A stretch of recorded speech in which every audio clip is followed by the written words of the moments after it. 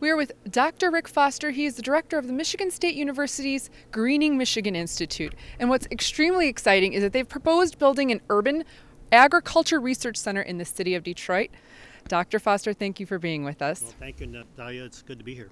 So, tell us, what is the goal of this project?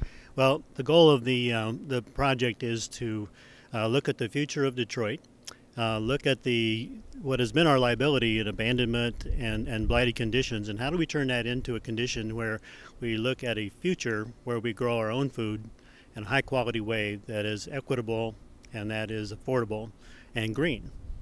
So give our viewers a little bit more understanding of what urban agriculture means. Well, urban agriculture, we, we use the word actually metropolitan agriculture, but urban agriculture ten, generally means agriculture and food that is grown within a city's limit. Uh, we are looking at the global applications of this work, and the global applications we think is when the food is grown in the city, around the city, and even between cities. So the rural areas around Detroit are as equally important in growing food for the city as is the internal uh, resources. So we use Metropolitan. Okay, so speaking of Detroit, why is this city a good place to start a project like this?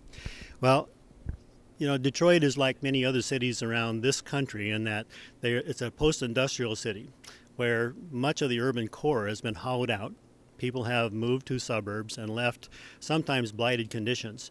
And the way that we think that we can start to assist in the development and the redevelopment of such cities is to utilize abandoned lands for food or for energy or for returning to nature and use abandoned buildings for vertical agricultural uh, structures to grow food uh, in, a, in an indoor setting.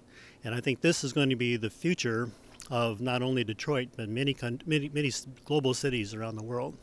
Vertical agriculture sounds kind of George Jetsony to me. Tell us a little bit more about that. Well, it could be a little George Jetson in, in, in ways because the people who are employed in this are not your common agricultural workers as we know them. Actually, they have to have science and technology skills. They have to have monitoring and regulatory skills because of the uh, the um, environmental controls, of the heat, of the nutrient movement, those sorts of things. The kinds of systems that have been developed thus far have primarily been in Europe, and they've been intensive growing in indoor systems that uh, controls energy and water.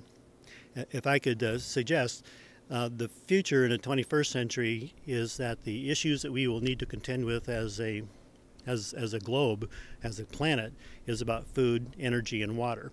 And if we can get them where they are integrated in indoor systems, we all of a sudden can uh, grow more food and do it with less energy and less water than we currently use. And that's going to be good for the planet. I couldn't agree more. Now, I understand one of your other goals is to collaborate with some community partners in Detroit. Obviously, there's a lot already happening here. So, how do you plan to do that? Well, Detroit is a very exciting place right now. There's a lot of community-based urban agriculture going on um, in in this in the garden space and, and small commercial ventures, etc.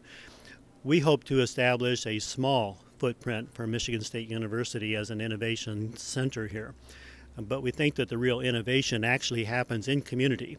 And so we want to be partners with those who are in the community garden area, in the commercial area, those who have hoop houses, but also larger growers who will come into Detroit because the opportunity to grow food and market it is an important part of their strategy.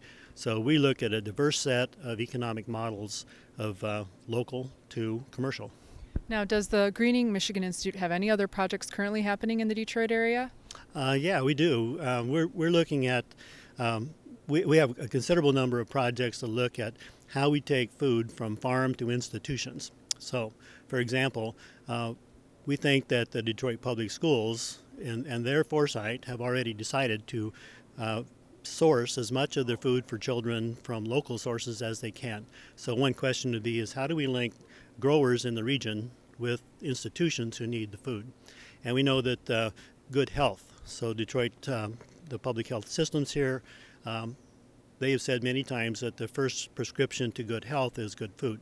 So how can we start to source locally grown foods to those institutions who benefit most from it? We think that's a ready-made market. It uh, increases the quality food that our kids and our and our um, uh, elderly can, can can utilize, but as importantly, it creates a demand, and we have an economic uh, development impact from the ground up. Well, Dr. Foster, this sounds so exciting and thrilling. We are so grateful for the work that you are doing, and we wish you luck with this urban agriculture effort. This is Natalia Petrozuk reporting from the News Hub at Eastern Market. Back to you, Dave.